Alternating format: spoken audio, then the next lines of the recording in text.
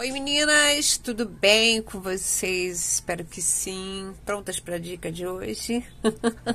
eu escolhi uma dica rápida, fácil e tá um sucesso aqui. Eu fiz no arquinho e agora na tiarinha de bebê. Ficou a coisa mais fofa do mundo, gente. E é muito, muito fácil de fazer. E eu tô trazendo para dividir com vocês.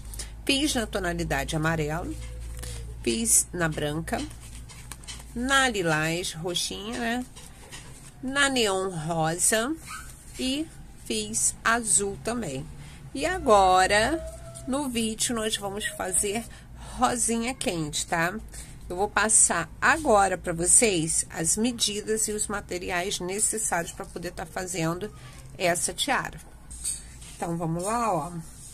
Aqui eu vou pegar um pedaço de meia na medida de 15 centímetros, tá? 15 centímetros para transformar ela em slim. E para fazer isso, eu abro, ó, e vou puxando, tá? É como se eu fosse rodando, tá? Ó, eu vou rodando e vou puxando e ela vai enrolando para virar slim.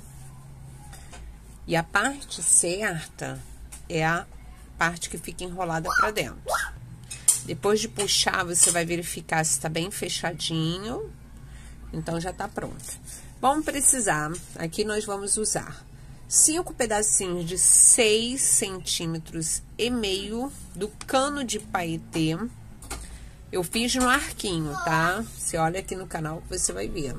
Pro acabamento, o meio pompom de 2 centímetros e meio um pedacinho de feltro na medida de 2 centímetros e meio também, ele é redondo, você pode fazer o desenho com uma moedinha, tá?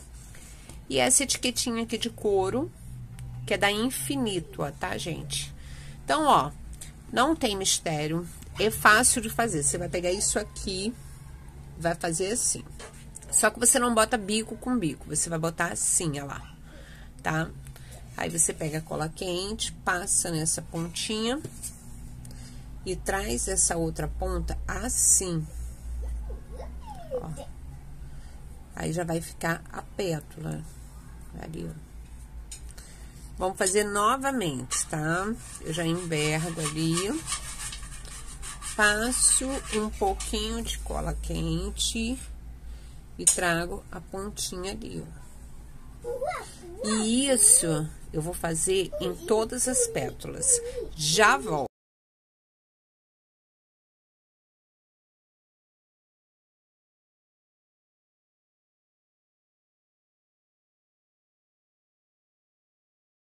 E agora nós vamos ao acabamento, tá? Com as cinco pétalas prontinhas, você vai pegar o pedacinho de feltro e você vai fazer isso aqui, ó. Vai botar cola quente. Agora, nós vamos colocar as pétalas ali, ó, dessa forma aqui. Uma encaixando do lado da outra, tá?